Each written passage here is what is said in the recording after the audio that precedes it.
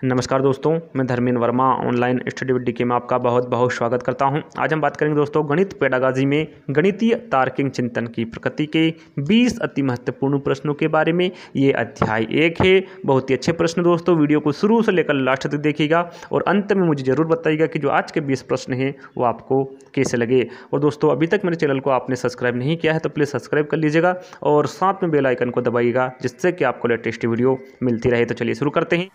प्रदीप को एक टूटा हुआ रूलर दो, तीन, चार, पाँच छः दिखाया जाता है और पूछा जाता है कि रूलर में छः सेंटीमीटर कहाँ है। वहाँ रूलर उठाता है और रूलर पर पाँच सेंटीमीटर के निशान को चिन्हित करता है। उसका उत्तर सही है या गलत आपके सामने दोस्तों, उसको दर्शाया भी गया है। इस प्रकार का रूलर है, इसे हम स्केल भी कह सकते हैं।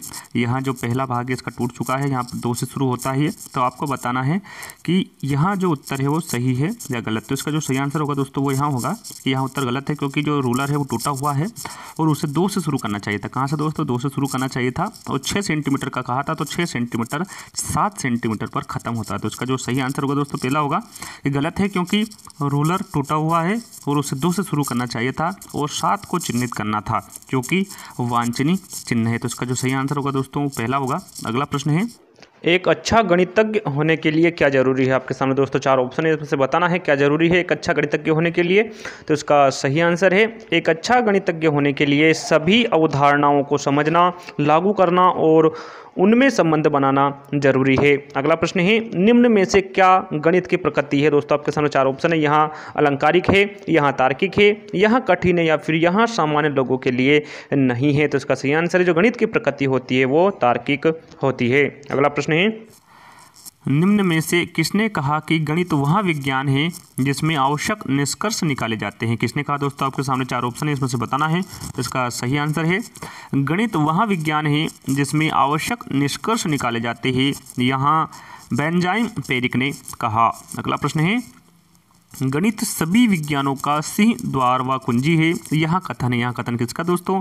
बेकन का है, ड्यूट का है, स्किनर का है या फिर कॉमेंट का है? दोस्तों, चार ऑप्शन है इसमें से बताना है तो इसका सही आंसर है। गणित सभी विज्ञानों का सिंह द्वार व कुंजी है। यहाँ कथन बेकन का है।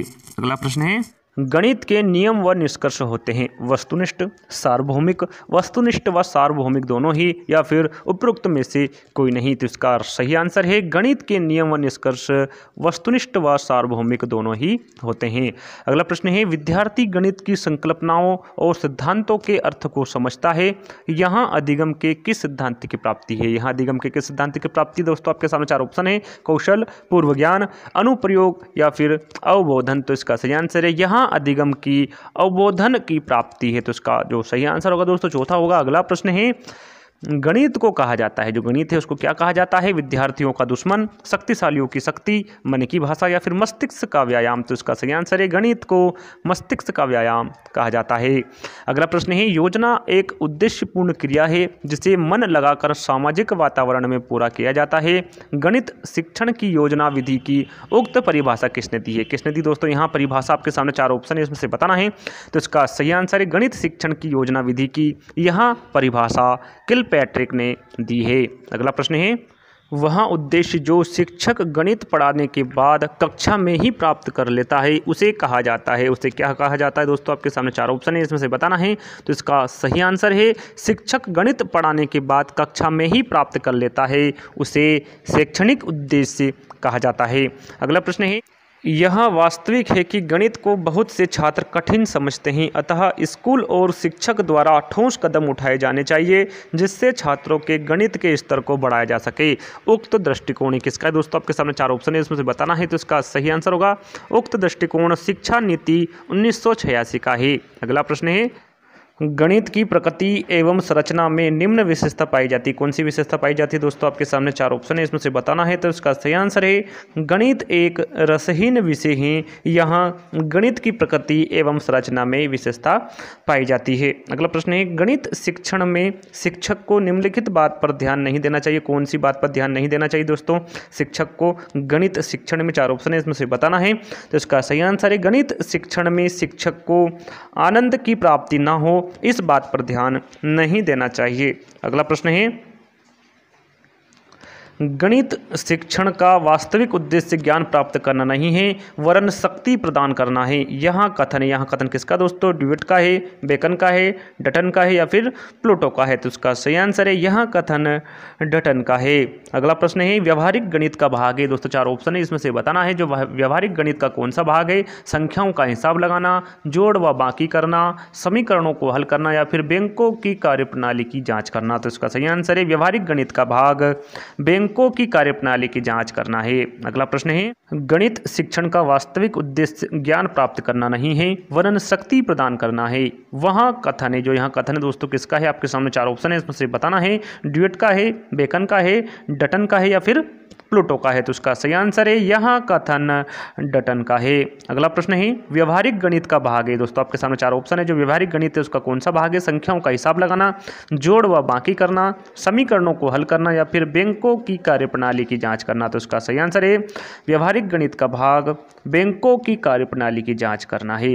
अगला प्रश्न है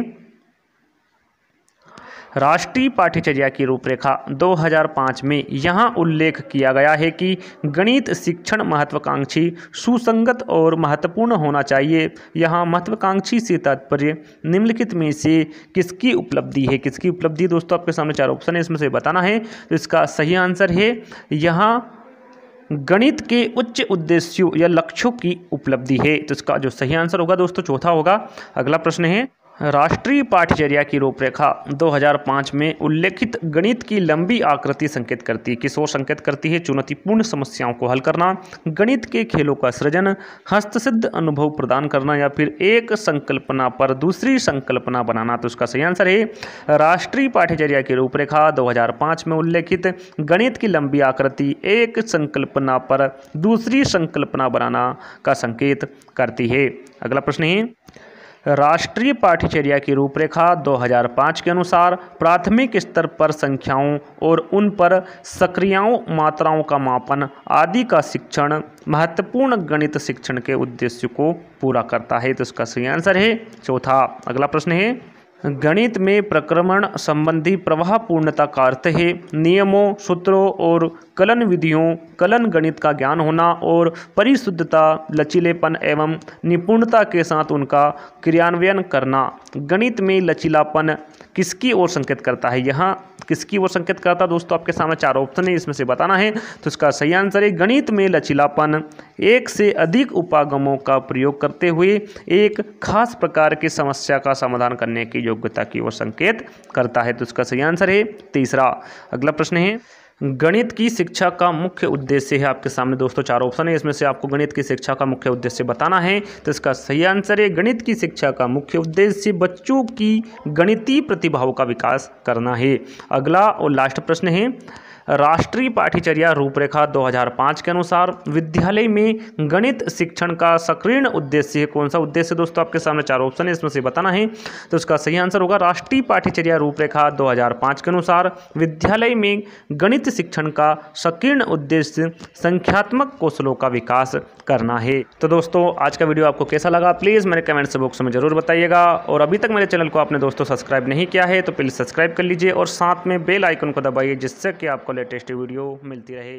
धन्यवाद।